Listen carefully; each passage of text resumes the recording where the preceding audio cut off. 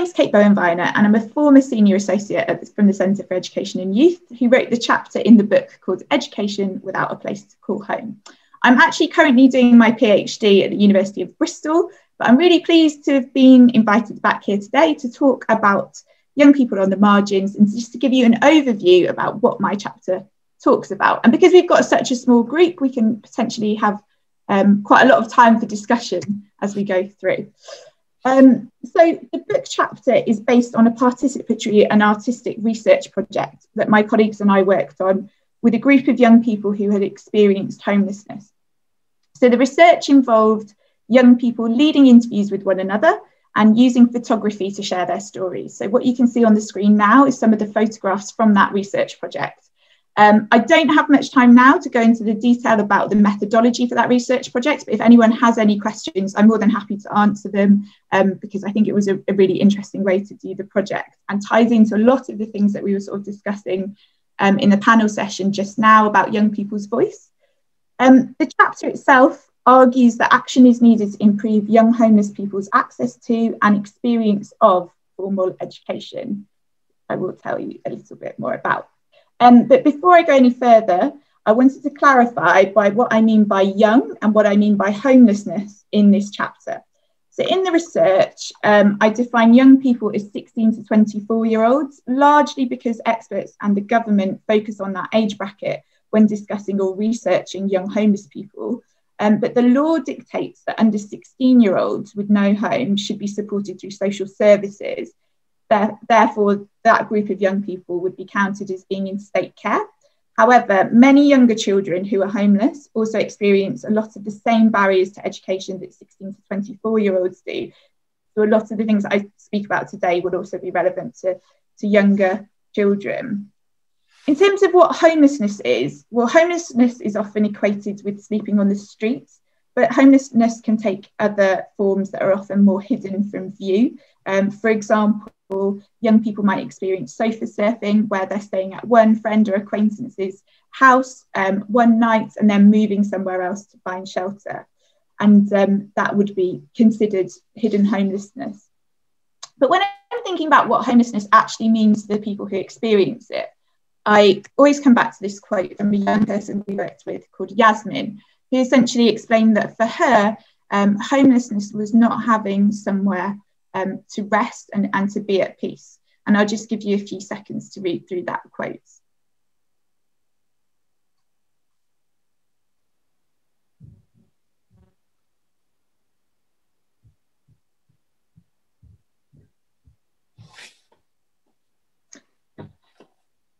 So in the UK, youth homelessness is a huge issue. In 2018 to 19, 71,589 young people in England approached their local authority because they were homeless or at risk of homelessness.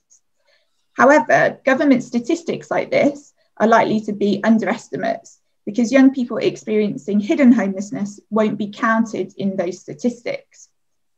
Um, so, why does this matter for education and youth? So, in the chapter, I argue that youth homelessness is an important issue for the education and youth sectors because the journey towards and the experience of homelessness makes it harder for young people to access education, to benefit from education, and to be supported in education.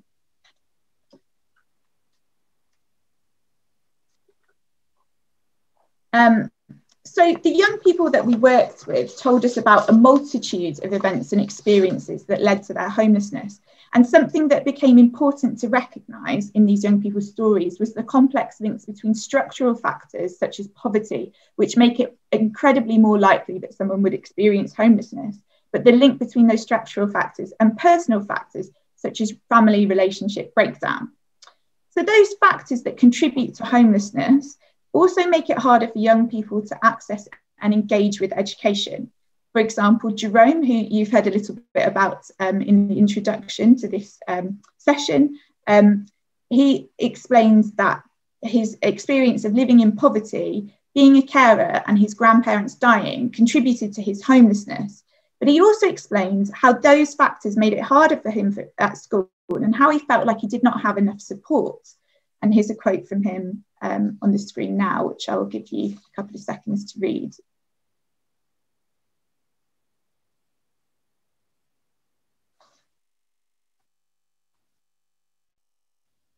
Okay. So in the chapter, I talk about the impacts of homelessness on education, and I've picked out three sort of key themes that I wanted to talk about today, and they're on the screen there. So firstly, I wanted to talk about the welfare system and how this can actually conspire against young people who are homeless.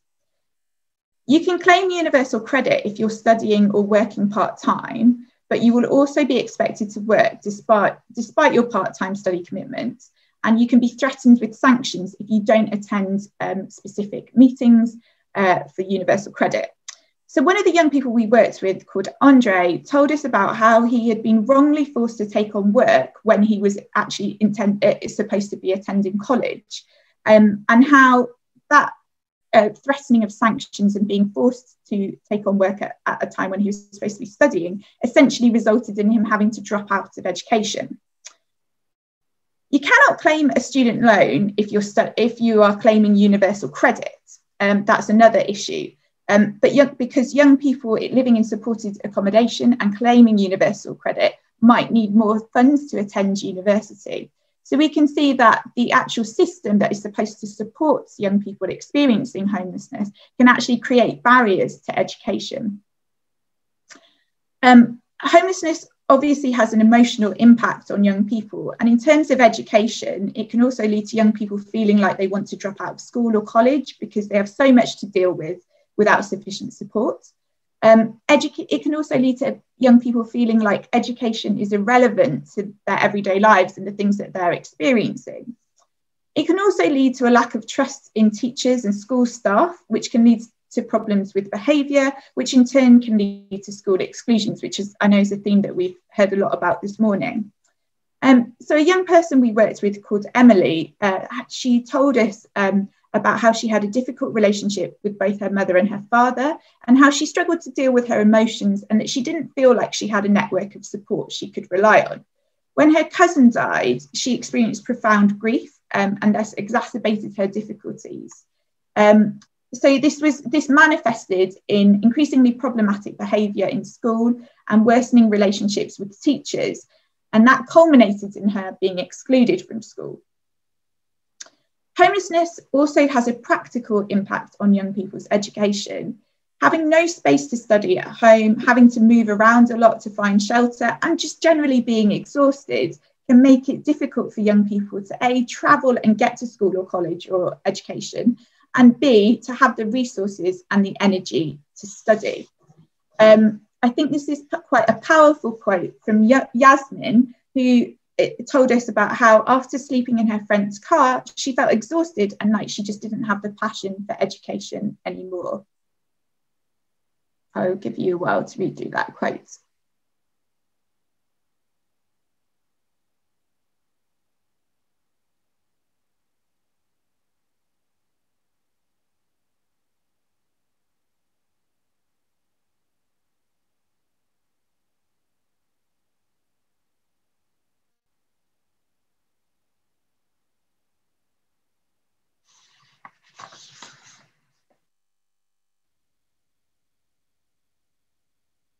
Okay.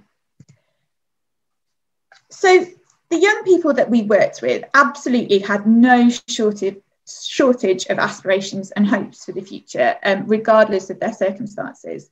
So, for example, one of the young people we worked with, called Evan, explained that his dream was to become an Italian chef, uh, to become a chef in an Italian restaurant, rather. Um, and he had, and that was despite a history of family conflict and drug abuse. Um, so young people who experience homelessness do not lack aspirations.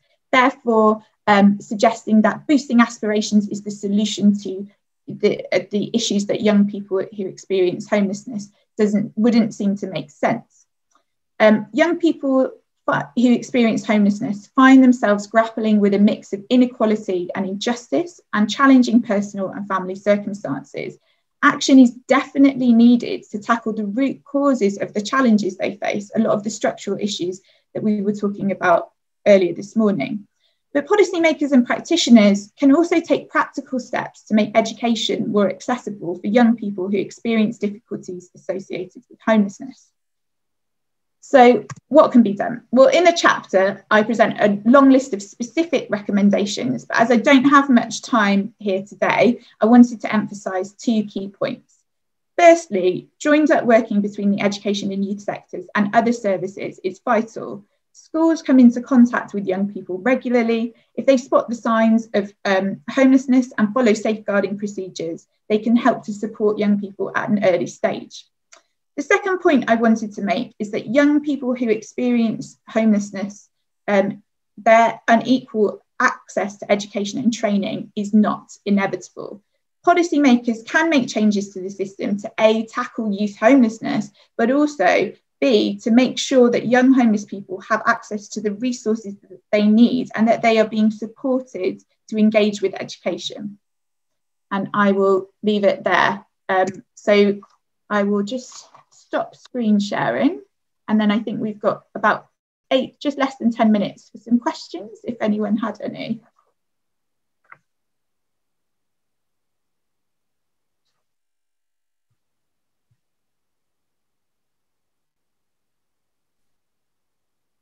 Thanks, Kate.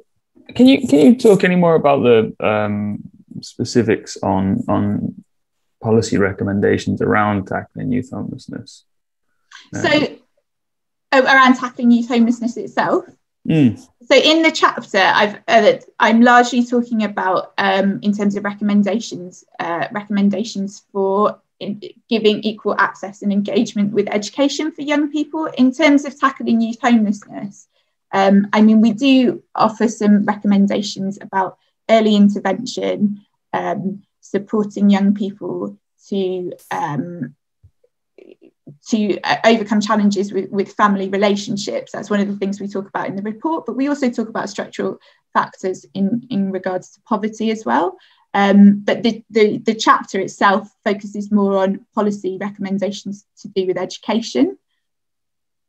I think um, you know, in our, in in our experience, we spent spent the last year developing this this model. Well, last couple of years, but last year piloting uh, a model to intervene earlier via schools, um, to sort of moving away from uh, an acceptance that uh, NEET or free school meal statistics can be used to identify people at risk of homelessness, um, which which is sort of standard practice uh, across across Wales, certainly anyway. Um, and in looking at different ways to go through schools to identify young people at risk of homelessness and intervene earlier.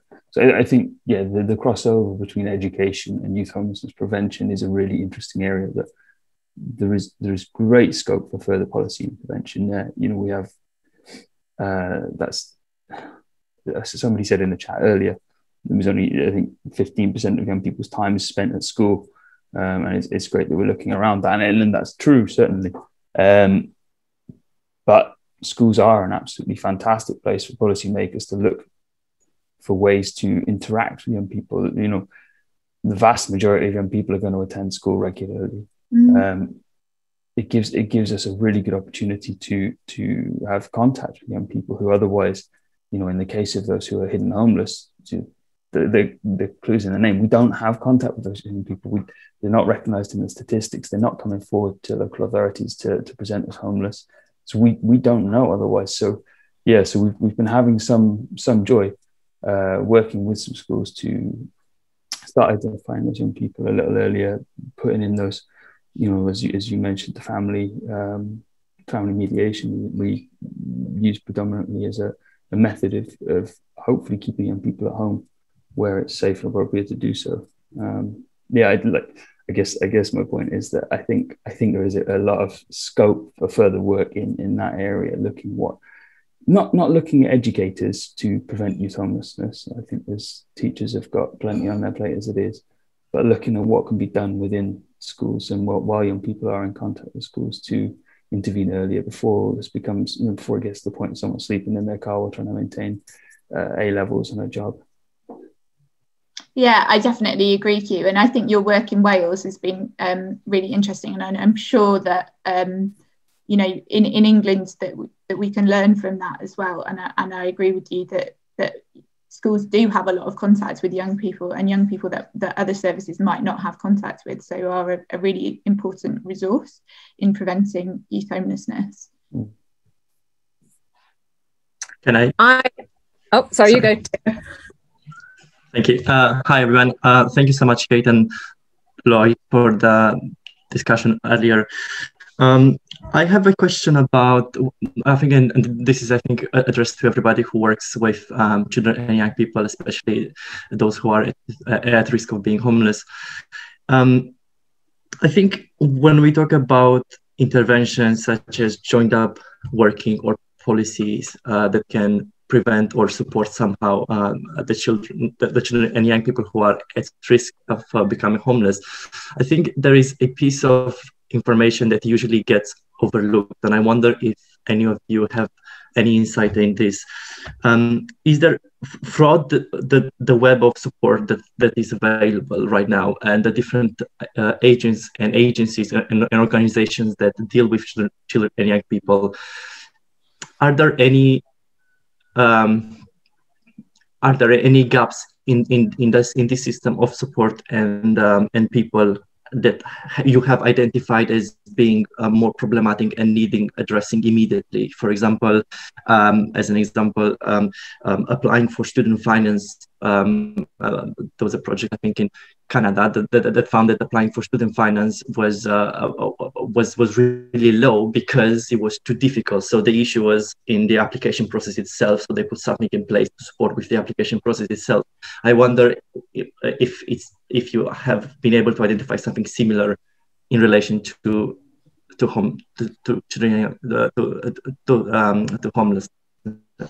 So um in terms of gaps in this in the system I, I don't think maybe as specifically as the, as the um, example that you you just mentioned but in terms of the welfare system I think there is a big gap there in that you know in the stories that we heard from young people people the, the staff that they came into contact with um, in job centres maybe it, you know wrongly gave them advice about um, not you know threatening them with sanctions and saying you, you can't attend your college course because you have to come to this therefore then this young person that I just mentioned, Andre dropped out of his college course, and that wasn't right. So I suppose there's a gap in the system of making sure that the welfare system, the benefit system, is working for young people, um, and is you know, and that we're encouraging um, young people to go into education um, because we sh- we shouldn't really have a system that is telling young people that they they, they can't go into education or sort of um,